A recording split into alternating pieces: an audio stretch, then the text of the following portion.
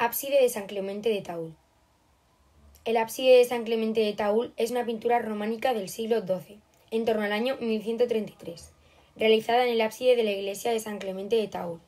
El ábside es la parte posterior del altar mayor de una iglesia, saliente por el exterior, que tiene planta semicircular o lobular, y una cubierta generalmente abovedada.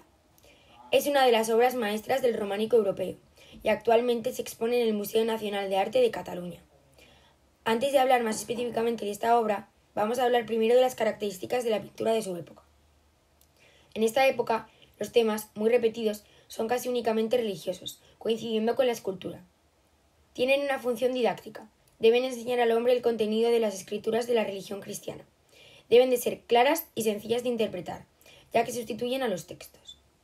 Estas no pretenden reproducir la realidad, ya que por encima de la representación naturalista de los personajes destaca el valor expresivo, narrativo y simbólico. A veces es tan simbólico que parece abstracto o antinaturalista. Las composiciones son muy simples para facilitar su lectura y comprensión, y hay un predominio claro de las simetrías. Utilizan la jerarquización espacial, donde el Pantocrator se encuentra en el centro, las narraciones del Antiguo y Nuevo Testamento en los laterales, y las lecturas se leen de izquierda a derecha y de arriba a abajo. También podemos destacar el predominio del dibujo sobre el color. El dibujo se realiza con contornos muy gruesos y negros. Los colores son planos, intensos y puros, es decir, sin degradados, lo que da lugar a una pintura sin volumen ni profundidad. No hay movimiento real, las figuras aparecen hieráticas, no presentan proporcionalidad ni perspectiva. Son frontales, individuales, sin relación entre ellas, colocadas en franjas o a la misma altura. Como he dicho antes, no intentan mostrar profundidad ni volumen, ya que huyen del naturalismo y utilizan muchos convencionalismos.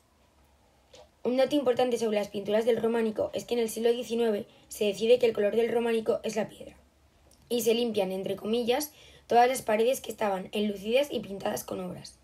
En España solo se conservan algunas pinturas de pequeñas iglesias, ya que en las grandes se realizaron reformas, se cubrieron o se eliminaron. El autor de esta obra es el maestro de Taúl, de quien poco se sabe, pero que hizo que por su excepcionalidad y fuerza pictórica, esta obra se proyectara a la modernidad y fascinara a artistas de las vanguardias del siglo XX, como Picasso o Francis de Picabia. Es una pintura al fresco, con toques de temple. Al fresco es la técnica que se utilizaba para pintar directamente sobre las paredes. La pared se cubre de yeso, con varias capas de cal, y cuando la última capa está todavía húmeda, es cuando se empieza a pintar sobre ella. Así, los pigmentos se quedan integrados químicamente en la propia pared, lo cual aumenta mucho su durabilidad. Y la pintura al temple es una técnica de pintura en la que el disolvente del pigmento es el agua, y el aglutinante algún tipo de grasa animal, glicerina, yema de huevo u otras materias orgánicas. La genialidad de esta obra reside en la combinación de elementos de diferentes visiones bíblicas, las del Apocalipsis, Isaías y Ezequiel, para presentarnos al Cristo del juicio final. Se trata de un pantocrátor, la epifanía del Dios legislador, todopoderoso, que viene a juzgar al pueblo, a quien encontramos en el centro de la obra en un fondo azul, sentado, rodeado por una mandarla, bendeciendo con su mano derecha en lo alto y portando en la izquierda un libro sagrado en el que pone, traducido del latín, Ego sum lux mundi, yo soy la luz del mundo. A sus dos lados encontramos las letras alfa y omega, que son respectivamente la primera y la última letra del abecedario griego, simbolizando que Cristo es todo, el principio y el fin. Alrededor de él encontramos el tetramorfos. Es una representación simbólica de los cuatro evangelistas, en la que en este caso están sostenidos por ángeles. El hombre representa a Mateo, el águila representa a Juan, el toro representa a Lucas y el león representa a Marcos. Aparecen también un querubín, que es un guardián del universo desde un plano divino, y sin contacto directo con los humanos, aunque influyendo positivamente sobre ellos, y un serafín, que es el ángel más importante, consejero directo de Dios. Estos dos están situados en los extremos.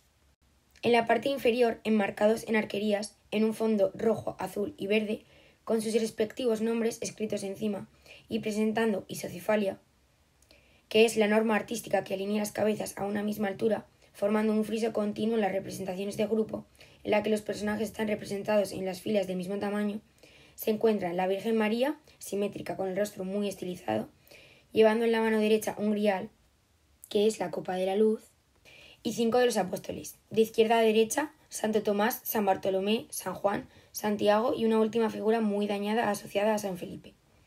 Podemos apreciar también que San Juan es más ancho que el resto, por ser el autor del Apocalipsis. Lleva el libro en la mano.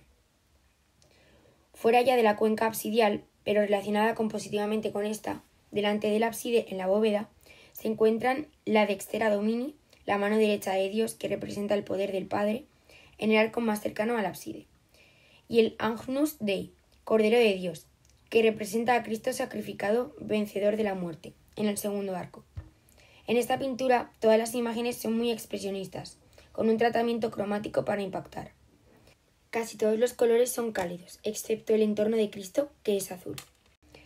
El rostro es muy expresivo, los ojos son dos círculos negros, la nariz son dos líneas paralelas que se prolongan en las altas cejas. La barba y el pelo son simétricas y esquemáticas. Los pliegues de los ropajes tienen trazos paralelos, muy marcados.